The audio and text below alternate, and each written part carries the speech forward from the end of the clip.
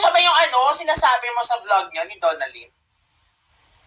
Um, yes, siya. Nag-uusap Mhm. kami, we understand each other, we care for each other.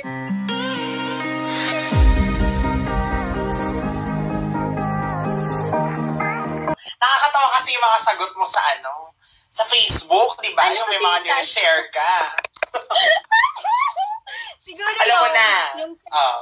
Ah, alam ko na. So, sumasagot ako kasi well, hindi naman ako affected sa mga pinaggagawa ng taong yun. So, ako, inaasar niya ako.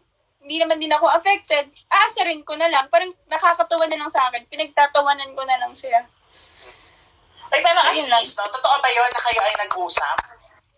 To, ano, set the record Yes, totoo po. Hindi na ako magpapaka-impokrita. Hindi na ako magsisinungaling. Hindi po ako magde-deny. Kasi mukha lang kaming tanga pag nag-deny po kami. Well, totoo naman na nag-uusap kami.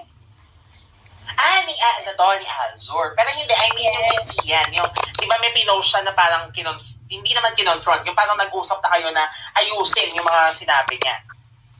Yes, nag-message sa akin si Christian Gaza. Um, nag-apologize siya.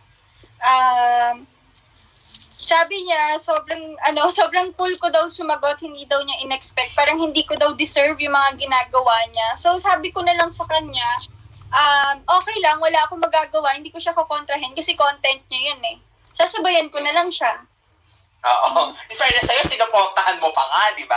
Uy, pero ano ha, oh, so yan ang ano, revelation of the night, Yes. charot na talking face kayo. Talking face? May ganun ba? Parang, so, ako AJ, itutuloy ko na to. Mm, siya ba yung ano, sinasabi mo sa vlog niyo ni Donalyn?